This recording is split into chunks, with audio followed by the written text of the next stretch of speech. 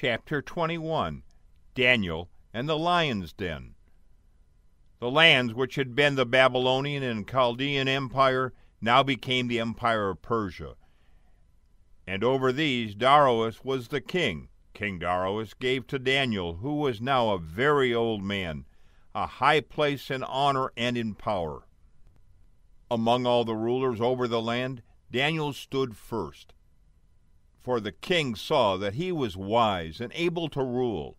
This made the other princes and rulers very jealous, and they tried to find something evil in Daniel, so that they could speak to the king against him. These men saw that three times every day Daniel went to his room and opened the window that was just towards the city of Jerusalem, and looking toward Jerusalem, made his prayer to God. Jerusalem was at that time in ruins, and the temple was no longer standing.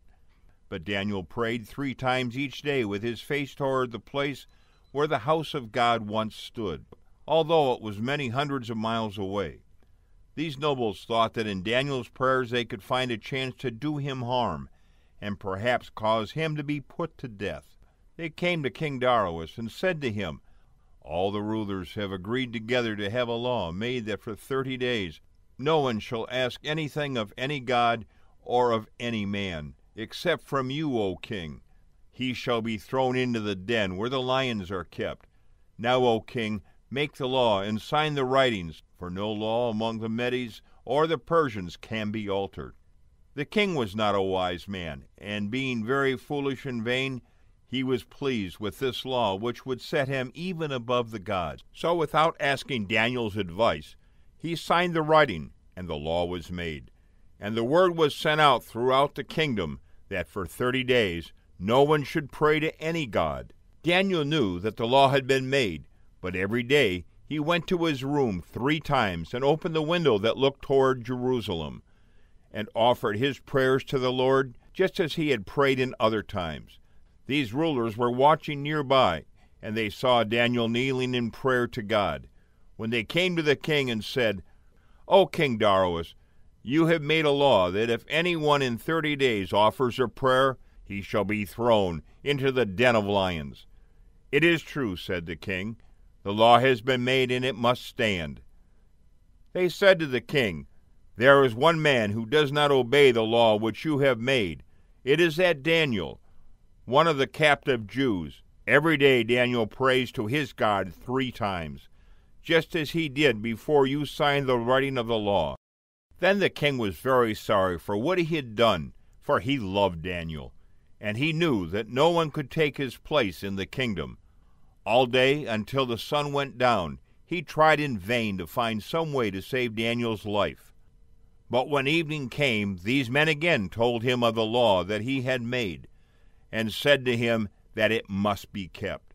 Very unwillingly, the king sent for Daniel, and gave an order that he should be thrown into the den of lions. He said to Daniel, Perhaps your God, whom you serve so faithfully, will save you from the lions. They led Daniel to the mouth of the pit where the lions were kept, and then they threw him in and over the mouth they placed a stone, and the king sealed it with his own seal, and with the seals of the nobles, so that no one might take away the stone and let Daniel out of the den.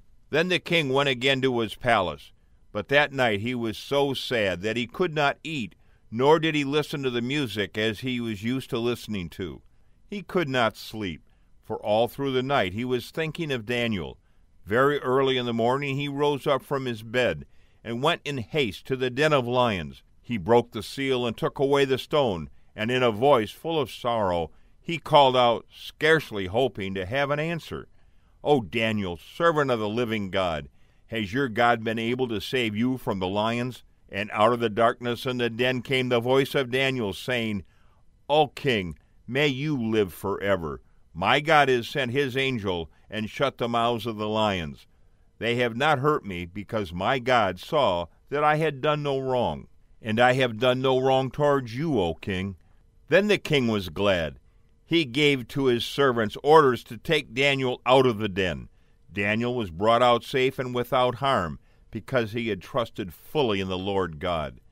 Then, by the king's command, they brought those men who had spoken against Daniel, and with them their wives and their children, for the king was exceedingly angry with them. They were all thrown into the den, and the hungry lions leaped up upon them and tore them to pieces, so soon as they fell upon the floor of the den. After this, King Darius wrote to all the lands and the peoples and the many kingdoms under his rule May peace be given to you all abundantly. I make a law that everywhere among my kingdoms men fear and worship the Lord God of Daniel, for he is the living God, above all other gods, who only can save men. And Daniel stood beside King Darius until the end of his reign, and afterwards while Cyrus the Persian was king over all the lands.